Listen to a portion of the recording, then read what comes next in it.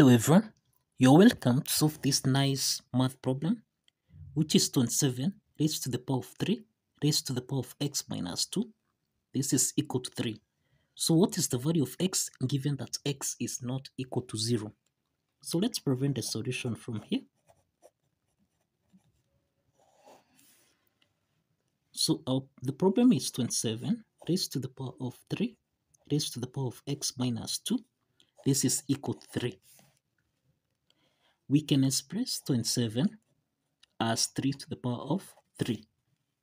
Let's substitute this so that we have 3 to the power of 3 raised to the power of 3 raised to the power of x minus 2.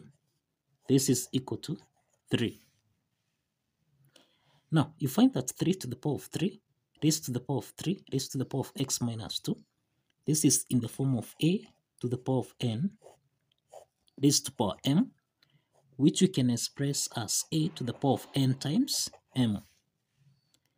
Applying this exponent property from here, this implies that we have 3 to the power of 3 times 3 raised to the power of x minus 2. This is equal to 3. Now, here we have this is 3 raised to the power of 1. Now, from the powers here, 3 to the power of 1 times 3 to the power of x minus 2. This is in the form of a to the power of n times a to the power of m, which we can express as a to the power of n plus m. Applying this exponent property, then we have a 3 to the power of 3 raised to the power of 1 plus x minus 2 this is equal to 3. So that now, here we have 3 to the power of 3 raised to the power of, this is 1 plus x minus 2, which we can express as x minus 1. This is equal to 3. Remember 3 is raised to the power of 1. So we have the basis here the bases are common here. That is a to the power of n. This is equal to a to the power of m. Given that the bases are common here, that is exponent n is equal to m. Now, this implies that from what you have here, that 3 to the power of x minus 1, this is equal to 1.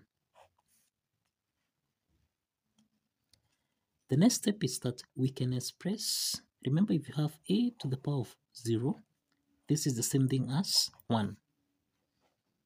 So we can express this one in the term of 3 to the power of 0. This is the same thing as 1. So this implies that here we have 3 to the power of x minus 1.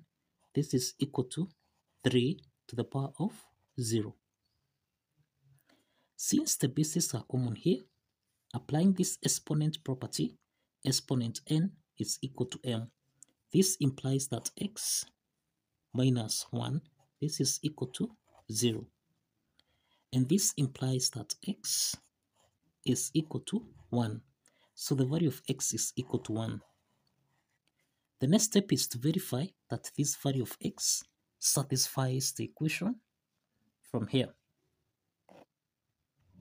Now let's verify that the value of x which is equal to 1 satisfies the equation. Now if you recall from here, we have that 27 raised to the power of 3 raised to the power of x minus 2. This should give us a value of 3. So we can express 27 as 3 to the power of 3. So we have 3 to the power of 3 raised to the power of 3 then raised to the power of x which is actually 1 minus 2 this is supposed to give us a value of 3 so here we have 3 to the power of 3 raised to power 3 raised to power of 1 minus 2 this is minus 1 this is equal to 3 this should give us a value of 3 The next step is that if you given if you are given a to the power of minus n, this can be expressed as 1 over a to the power of n.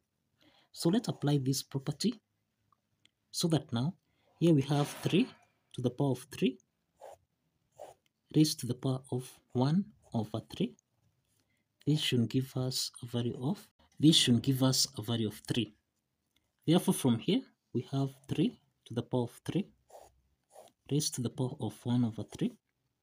This should give us a value of 3. Now, eh, 3 to the power of 3 times a third, this is in the form of a to the power of n raised to the power m, which we can express as a to the power of n multiplied by m.